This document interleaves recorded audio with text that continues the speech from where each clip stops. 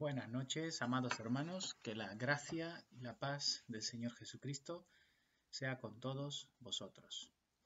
Os saluda eh, Renato de la Jara, soy eh, obispo de la Iglesia Anglicana Ortodoxa aquí en España. Y esta noche de este domingo de Palmas o domingo de Ramos, que es el inicio de la Semana Santa, quería hacer una breve reflexión acerca de la lectura del Evangelio que nos introduce en esta gran semana que la Iglesia ha celebrado eh, eh, por la centralidad de la fiesta de la Pascua, ¿eh?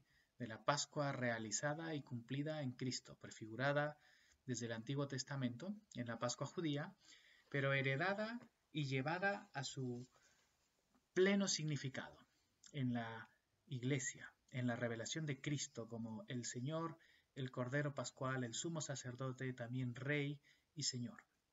Vamos a pedir al Señor que nos ayude y acercarnos brevemente a este pasaje en el Evangelio de San Marcos. En el nombre del Padre y del Hijo y del Espíritu Santo. Amén. Señor, te alabamos y te bendecimos en el nombre de Jesucristo y pedimos que tu Espíritu nos guíe a toda verdad a través de tu palabra. Te lo suplicamos en su nombre. Amén. Dice la palabra del Señor. Cuando se acercaban a Jerusalén, junto a Bethfagé, y a Betania, frente al monte de los olivos, Jesús envió dos de sus discípulos y les dijo, Id a la aldea que está enfrente de vosotros, y luego que entréis en ella, hallaréis un pollino atado, en el cual ningún hombre ha montado. Desatadlo y traedlo. Y si alguien os dijere, ¿por qué hacéis esto? Decid que el Señor lo necesita, y que luego lo devolverá fueron y hallaron el pollino atado fuera de la puerta, en el recodo del camino, y lo desataron. Y unos de los que estaban allí les dijeron, ¿qué hacéis desatando el pollino? Ellos entonces les dijeron como Jesús había mandado, y los dejaron. Y trajeron el pollino a Jesús, y echaron sobre él sus mantos, y se sentó sobre él, y se sentó sobre él. También muchos tendían sus mantos por el camino, y otros cortaban ramas de los árboles y las tendían por el camino. Y los que iban delante y los que venían detrás daban voces diciendo, Hosana, bendito el que viene en el nombre del Señor, bendito el reino de nuestro Padre David que viene, Hosana en las alturas. Y entró Jesús en Jerusalén y en el templo, y habiendo mirado alrededor todas las cosas, como ya anochecía, se fue a Betania con los doce. Este pasaje significativo, llegando eh, al clímax del Evangelio de San Marcos, si nosotros vemos el contexto inmediato, el Señor antes de llegar a Jerusalén, cuando él inicia este viaje hacia Jerusalén, conociendo él su tiempo y sabiendo que ya era el momento en el que él tenía que ser eh, sacrificado, en el que él tenía que ofrecerse como el Cordero de Dios para librarnos de nuestro pecado y traer el reino de Dios a este mundo. Antes de esto, vemos em, varios momentos, varios encuentros y situaciones que van confirmando a través del Evangelio de, Marcos que Jesús es el Cristo, el Mesías, el Hijo de David. Antes de, llegar aquí a Jerusalén, el Señor eh, tiene un encuentro con este ciego Bartimeo.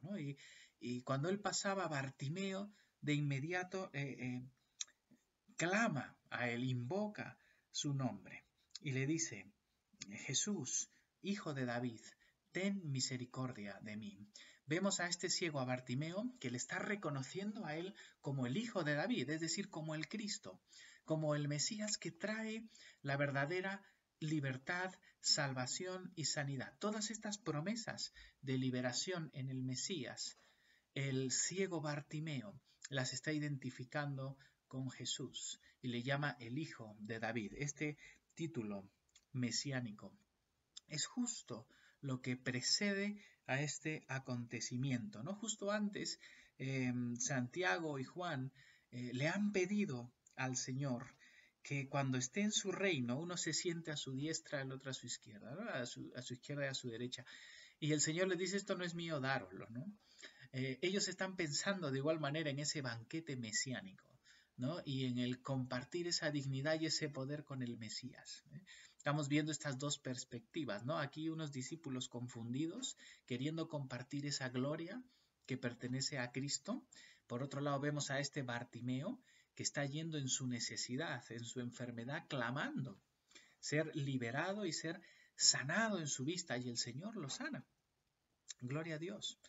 Ahora, después de todos estos acontecimientos, cuando se acercaban a Jerusalén, dice aquí, cerca a Befagé y a Betania, frente al monte de los olivos. Esto es lo que nos informa eh, San Marcos. Es en este momento que el Señor les da este mandamiento a sus discípulos eh, de ir a por este asno joven, ¿no? A este pollino. Y el monte de los olivos, pues es un monte que tiene mucho significado en la escritura. Es un monte em, que ya en la profecía de Zacarías, ¿no? El Señor ya eh, manifestó que Él vendría eh, eh, en su juicio, vendría en este monte, ¿no? Dice en Zacarías 14.3, después dice, saldrá Yahvé y peleará con aquellas naciones como peleó en el día de la batalla, y se afirmará sus pies en aquel día sobre el monte de los olivos que está enfrente de Jerusalén al oriente. Ya las profecías hablaban de que este monte era un monte especial, era un monte que tenía eh, para el pueblo de Israel en la historia un significado profundo. Era un monte que estaba relacionado con la venida del Señor. Este mismo monte es por el que David huye cuando Absalón se revela contra él y él huye por allí. Y es allí donde él es afrentado también. Luego cuando vuelve eh, restaurando su reino, es eh, muy probable que vuelve por este mismo eh, Monte de los Olivos. Es un lugar significativo y tiene relación con esta entrada de Cristo, el Hijo de David, el Mesías, a la ciudad. Es que esta lectura y lo que nosotros celebramos como iglesia en este domingo de esas palmas o la entrada triunfal de Jesús en Jerusalén es no es otra cosa sino que la proclamación pública, viva, de que Jesús es el Cristo. Él es el Mesías, el Hijo de David, el verdadero Hijo de David, el Hijo de Dios, Dios hecho hombre, que viene a traer el reino de Dios. Y Él está entrando en la ciudad de David, en la ciudad de Dios, en, en aquel lugar donde Dios manifestaba su presencia. Entonces, este acontecimiento es un acontecimiento muy importante. El Señor manda a sus discípulos que vayan a una de estas aldeas, probablemente Betfagé o Betania. Betania era donde el Señor muy probablemente siempre pasaba em, las noches cuando estaba en Jerusalén, porque allí es donde vivía su amigo Lázaro, donde mm, también estaba Simón el leproso, donde ocurren varios eventos. Era una ciudad dormitorio de Jerusalén, muy cerca, a un lado, eh, al lado oeste, eh, al lado de, las faldas de, mm, del Monte de los Olivos, y era un lugar estratégico ¿no? para el ministerio del Señor. Él manda por este pollino, este pollino que había estado eh, atado y que nadie había montado, lo cual era digno de un rey, pero vemos cómo el Señor les da un mandamiento, ir y coger ese pollino y si alguien nos pregunta decir el Señor lo necesita. Es decir, esto es algo sobrenatural. Pero probablemente los dueños de este pollino eh, eran también creyentes y probablemente el Señor les había revelado en sueños o de alguna manera que él necesitaba esto. Y ellos van y obedecen a su palabra. Era un mandamiento un poco extraño, ¿no? Pero ellos van porque estaban cogiendo algo que no era de ellos. Pero van y obedecen al Señor. Y lo hacen. Y ellos le preguntan, ¿qué estáis haciendo? Y ellos dicen, el Señor lo necesita. Y esto es otra proclamación de que Él es el Cristo. Él es el Señor. Y tanto los discípulos como los que tienen el pollino reconocen a Jesús como el Mesías y dejan que cojan a este animalito. Y vemos aquí también algo muy importante para nosotros y es el hecho de que el Señor como rey es un rey, Dios todopoderoso, el Señor Jesucristo, pero Él viene no en un caballo enorme como el bucéfalo em, que tenía Alejandro Magno, no, no, Él viene en un asno, en un animalito joven, un animal de trabajo, sencillo, humilde. Y esto muestra el carácter de Cristo como ese rey glorioso, pero un rey sencillo, humilde y manso de corazón. Como él dice, yo no he venido a ser servido, sino a servir y a dar mi vida por muchos. Y ese es el carácter del rey mesiánico, del Cristo verdadero. No un rey poderoso y político humano. Él no se dejó hacer rey cuando hizo la multiplicación de los panes y los peces, que eso lo vimos unos domingos atrás, sino que aquí él mismo se muestra como el rey, pero como el rey sencillo y humilde. Esto estaba profetizado en Zacarías, ¿no? Dice, alégrate mucho, hija de Sión, y da voces de júbilo, hija de Jerusalén. He aquí tu rey vendrá a ti, justo y salvador, humilde, cabalgando sobre un asno, sobre un pollino, hijo de asna. Ya estaba profetizado este hecho glorioso que el Cristo, el Rey, el Mesías, entraría en un asno sencillo y humilde, ¿verdad? Y esto fue algo maravilloso. En el Antiguo Testamento también si recordáis cuando Salomón fue ungido rey, también él subió en el asno de David. Cuando su hermano intentó, intentó o fue eh, intentó quedarse con el reino y el rey David dice no y manda a sus siervos a que vaya en su asno Salomón a ser ungido. Entonces toda esta figura del asno, del rey, tiene relación desde el Antiguo Testamento y les está hablando a los judíos, este es el Cristo, el verdadero. ¿eh? Y trajeron el pollino y echaron sobre él, como dice aquí, sus mantos.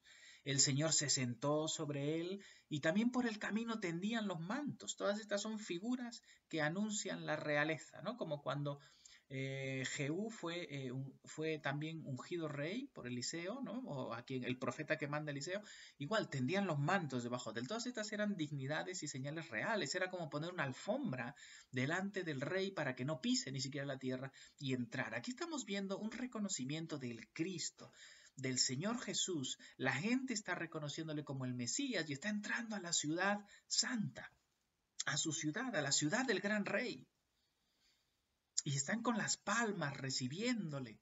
Y estos son, eh, todas son figuras del Mesías y del reconocimiento de la gloria de Cristo. Todo esto está dirigido por la providencia de Dios, por la obra del Espíritu. Pero este rey sencillo y manso. Y los gritos de la multitud, ¿no? Estos gritos eh, proceden del Salmo 118, que es uno de los salmos del Jalel, ¿no? De estos salmos que se cantaban especialmente en una fiesta como la Pascua.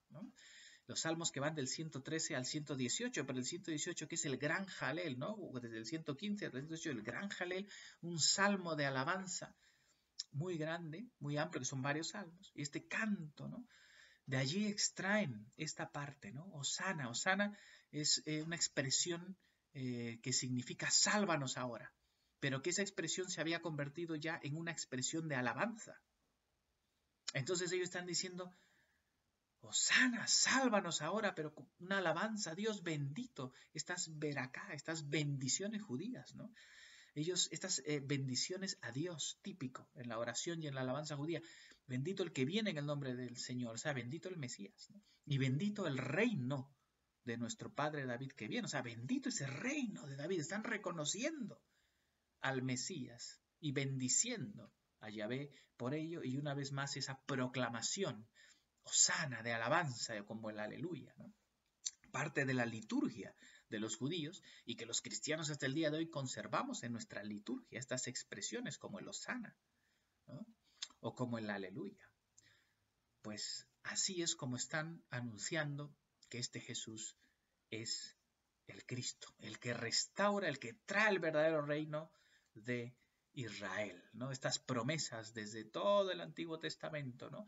Isaías, lo dilatado de su imperio y la paz no tendrán límites sobre el trono de David y sobre su reino, disponiéndolo y confirmándolo en juicio y justicia desde ahora y para siempre. El celo de Yahvé de los ejércitos hará esto. Todas estas profecías acerca de Jesús se van cumpliendo paulatinamente y aquí llegan a un momento cumbre, porque este es el Mesías, el Rey humilde, conquistador, Señor de señores, que ha mostrado su poder venciendo a Satanás en las tentaciones, sanando, liberando a los cautivos, haciendo señales y milagros, pero debe llegar a la cruz para ser coronado rey. Nuestro Rey y Señor no es Alejandro Magno, ni es un César que a través del poder va a aplastar a los demás, sino a través de la entrega de sí mismo en la cruz va a manifestar su reino y su poder y su gloria. Ese es nuestro Señor. Ese es nuestro Rey. Aquel que tiene que darse a sí mismo como el Cordero, que tiene que entregar su vida y llevar nuestros pecados, aquel que tiene que resumir en sí mismo la maldad de este mundo para destruirla y recrear este mundo.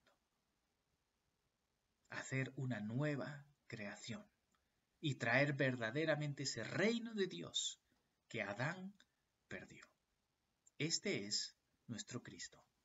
Este es nuestro Señor, aquel en quien el Padre ha querido reunir todas las cosas reconciliar todas las cosas en Él. Pero su victoria se da en la cruz. Su victoria se da cuando Él, muriendo en la debilidad, cuando Él en la cruz y Satanás cree que ha vencido, es allí cuando ve que está derrotado y que el príncipe de las tinieblas se ve destruido, porque Cristo en la cruz satisface el precio y restaura el orden de la creación. Gloria a Dios.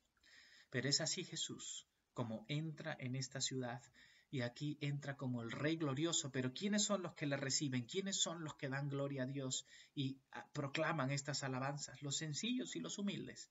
Allí no hay, no están los fariseos, no están los saduceos. De hecho, en Lucas se nos dice que los fariseos le decían, dile a esta gente que calle. Y él les dice, si ellos callasen, las piedras clamarían los pobres de Yahvé, los sencillos, aquellos a quienes se les ha manifestado el reino, los pobres y sencillos de corazón. Son aquellos que reciben y anuncian a este Mesías. Y el Señor entró en Jerusalén, nos dice Marcos, y en el templo. Y habiendo mirado alrededor todas las cosas, como ya anochecía, se fue a Betania con los doce. Y el Señor entró entró hasta el templo y los fariseos estaban molestos y él inspeccionó todas las cosas como el rey, como lo que es suyo, como lo que es su territorio, porque lo es. Él es el Señor de todas las cosas, pero salió y fue a Betania. ¿Quiénes le recibieron? Como vemos aquí, los sencillos, sus discípulos. Todo esto confirma que Cristo es el Señor, el Mesías, el Rey y los acontecimientos que veremos en esta semana, que vamos profundizando en la semana de la pasión del Señor hasta el clímax de la cruz y luego su gloriosa resurrección el domingo de Pascua. Vamos viendo constantemente a Jesús como el Cristo, Rey de Reyes. Así que voy a terminar esta reflexión preguntando, ante esta manifestación de Jesús y su entrada gloriosa. ¿Cómo debemos recibir a este rey de paz, a este rey de reyes? Hay opciones. Está el rechazo total, como aquí los saduceos, los fariseos, que rechazaron a este Cristo y le dijeron, dile a los demás que callen.